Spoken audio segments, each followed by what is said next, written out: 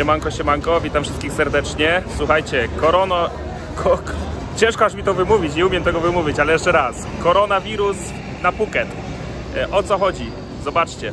E, wiele tam medialnie o tym jest i tak dalej, i tak dalej. Być może jest, być może nie jest, być może jest to nadmuchane, być może nie jest nadmuchane, nie wiem tego. W każdym razie dzisiaj jest w sumie pierwszy dzień, kiedy tego dostrzegłem.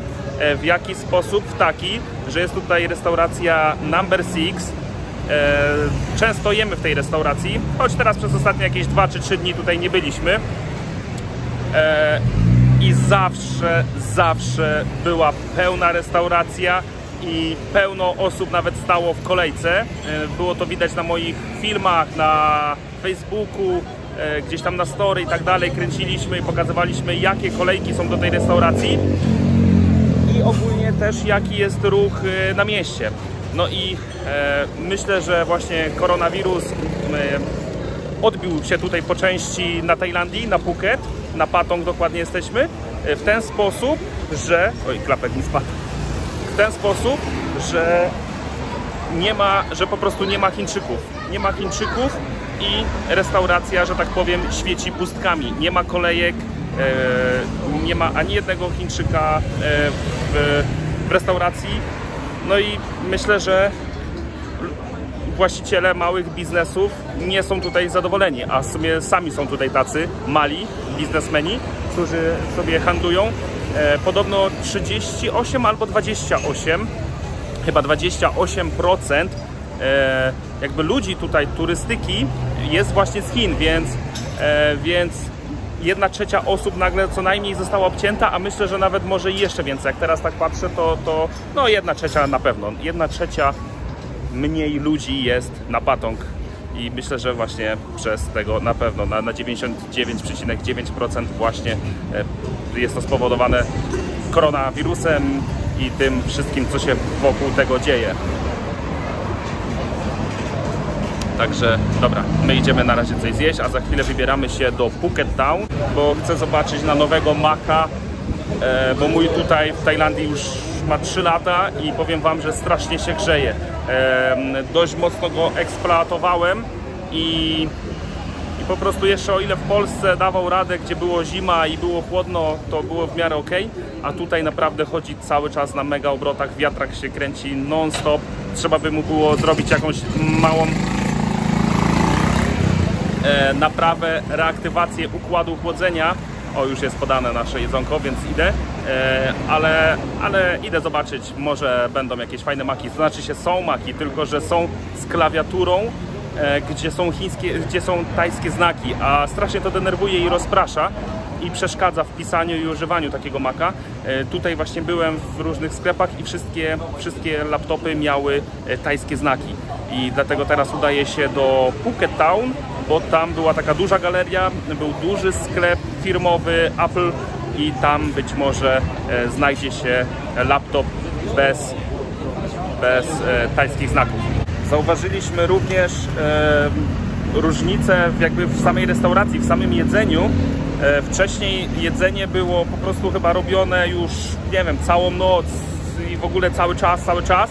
I ewentualnie jak ktoś przychodził, zamawiał, to, to po pierwsze było szybciej, ale z drugiej strony chyba było jakieś trochę odgrzewane i trochę to inaczej wyglądało. I inaczej aż całkiem dania smakowały. E, gdzie teraz przyniesione nam zostało powiedzmy obiad, to i były świeższe frytki, i świeższe mięso, tym takie chodzi mi o to, że takie widać, że to świeżo w tej chwili zrobione, m, a nie na przykład godzinę już czy dwie temu, czy nawet jakieś e, odgrzane z nocy albo coś takiego, E, bo wcześniej było naprawdę tyle ludzi, że e, nawet nie było czasu zrobić tych wszystkich posiłków, tych wszystkich dań, a teraz, a teraz po prostu e, e, całkiem inaczej to wszystko wygląda. Tak właśnie e, rozmawiamy, rozmawiamy z Dorką, że trochę szkoda nam w sumie i jednych, i drugich, i, i Chińczyków, obywateli Chin. I Tajów oczywiście również z tego względu, że że po prostu wiele tutaj biznesów y, działało między innymi, w ogóle nie, nie tyle chodzi o to, że biznesów działało, tylko ludzi żyło dzięki właśnie turystyce. E, teraz naprawdę ucierpi na tym e, dużo, dużo małych firm, bo, bo te braki, braki ludzi widać wszędzie. E, cała, cała jakby Tajlandia czekała na sezon, kiedy będzie właśnie ta pora sucha, kiedy zjedzie się pełno turystów, kiedy zarobią i przetrwają później po prostu jakby tą porę mokrą, kiedy jest dużo mniejszy ruch i dużo mniej ludzi. A tu teraz okazało się takie coś naj, najgorsze, najgorsze jest to, że naj, naj, najbardziej nam szkoda tylko pod tym względem, że ja na przykład jestem skłonny uwierzyć w to, co e, mówią też inni ludzie, e, czyli że to wszystko jest ukartowane, czyli że to jest spropagowane, czyli to, że zostało to zrobione specjalnie przez e, jakieś firmy, rządy, nie wiem, farmace, firmy farmaceutyczne, czy, czy właśnie przez jakieś rządy dla jakiejś tam korzyści. No i, i szkoda, bo naj, wtedy jest to najbardziej mi szkoda właśnie, że mogą, że, że cierpią na tym po prostu zwykli ludzie, zwykli obywatele, którzy, którzy po prostu e, ucierpią oczywiście standardowo na tym najbardziej, tak? Także e, no widać, widać widać e, po prostu różnicę jak przyjechaliśmy i staliśmy e, na Patong Beach 40 minut w korku jak jechaliśmy do hotelu, a teraz po prostu przechodzi się tak jak tutaj teraz przechodziłem przez drogę, jak tam e, przejeżdżamy skuterkiem czy coś, to po prostu jest normalnie luźno, tak? Jest normalnie luźno, czyli, czyli w jakim stopniu na pewno koronawirus dotarł na Phuket, jest to widoczne i, i, i, i, i no i jest to widoczne, tak? dotarł pod tym względem mam na myśli, że jest mniej ludzi. Niekoniecznie, że jest tutaj ten wirus i że e, ludzie są chorzy. Mam nadzieję, że nie i że, mm, że nic takiego nie będzie, nie miało miejsca, ale widać to pod tym względem, że, że jest po prostu mało ludzi, tak? Że jest mało turystów. Mało turystów. No i tak to wygląda. Ok, my jedziemy do Phuket Town zobaczyć na laptopy, a Wy koniecznie dajcie znać w komentarzu, czy również uważacie, że zostało to spropagowane, że e, również to wszystko zostało jakby zaplanowane, czy, czy tak nie uważacie i po prostu no, to jest prawdziwy wirus, prawdziwa choroba i w ogóle no, tak wyszło jak wyszło. No. Niestety nieszczęśliwy, nieszczęśliwy wypadek, że tak powiem. Dzisiaj w galerii taki tłok, tyle skuterków, że nie szło zaparkować. Wszystkie miejsca pozajmowane. Trzeba się było postarać, żeby gdzieś stanąć. Patrzcie na to. Jesteśmy już w galerii. Zobaczcie właśnie o co mi chodzi. Chodzi mi o, o te wszystkie takie znaczki. Widzicie? Te litery tajskie.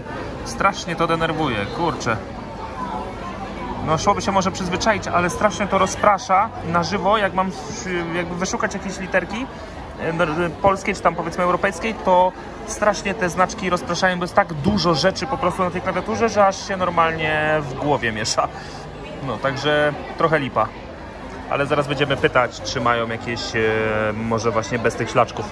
Tak się składa, że pani, e, która tutaj po prostu pracuje, e, ludzie chodzą i się zginają głowami, bo myślą, że, ich, że nagrywam w tamtą stronę, ja siebie nagrywam. E, chodzi o co? Chodzi o to, że pani widziała mnie jak nagrywałem, jak nagrywałem film i pokazywałem palcami po, po tych literkach i przyszła od razu i powiedziała, że ma z ruską klawiaturą, bo oczywiście pomylili nas z ruskami. No i ale ja mówię, że nie, że nie ruska, że taka europejska jakaś, angielska. A ona mówi, to mam, też mam. No i poszła szukać, zaraz zobaczymy. Nie wiem, czy dzisiaj jest jakaś promocja, czy o co chodzi tutaj na elektronikę, ale jest tyle ludzi w sklepie, że to jest jakaś masakra.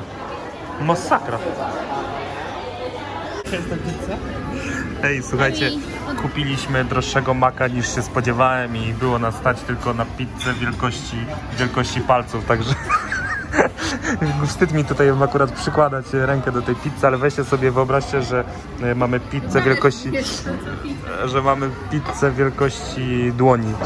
E, a więc no, musicie, musicie się domyśleć teraz, ile kosztował mak, że zostało nam kasy tylko na taką pizzę. Ale najważniejsze jest to, że udało nam się kupić maka z e, angielską klawiaturą E, tutaj w Tajlandii. Byliśmy, jesteśmy w Phuket City, w Central, Central Phuket, czy to się jakoś tak nazywa? Central Phuket. E, no i będziemy, będziemy teraz jeść kolację e, po takim kawałku jak, jak kawałek ketchupu będziemy mieć taki kawałek pizzy jeszcze do tego. No, także jemy, jemy pizzę i spadamy do domu. Włączyć maka. Włączyć maka. O, gdzie jest mak?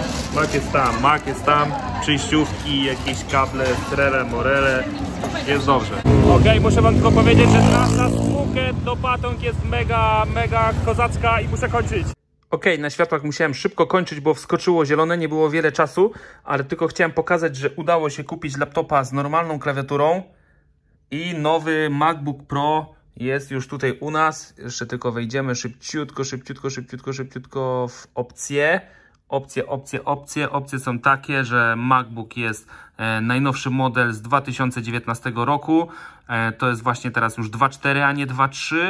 E, Core i5, 8 GB RAMu i takie różne buty, także wszystko super pięknie, ładnie. Super pięknie, ładnie, wszystko śmiga, wszystko działa.